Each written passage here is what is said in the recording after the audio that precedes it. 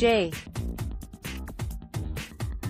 Walter Thompson Sydney, four hours ago win continues successful partnership with previous campaigns winning five Effies, a Gold APG Award and multiple Creative Awards The NSW Rural Fire Service has reappointed J.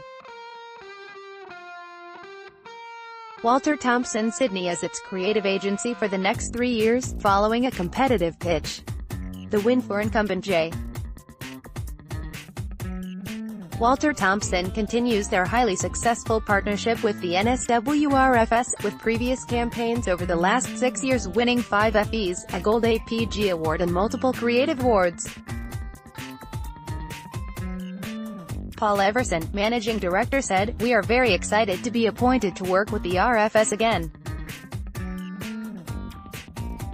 Together we have created highly effective and awarded campaigns and we look forward to continuing our relationship and delivering the next phase of the campaign. Troy Gersbach, campaign coordinator at NSWRFS explained that the decision was made based on J.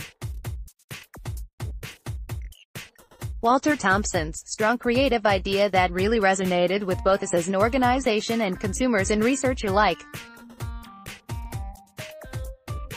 In-depth understanding of our challenges was clear throughout the entire pitch process, resulting in a campaign we firmly believe will deliver the change in behavior we are after. The next campaign which is a NSW government campaign run by the NSW Rural Fire Service will overcome the challenge of improving the quality of bush fire preparation, while also increasing the personal responsibility taken by individuals living in at-risk households across NSW. The campaign will now be fully developed and following approval through the NSW government advertising process will go live live in spring 2018. J.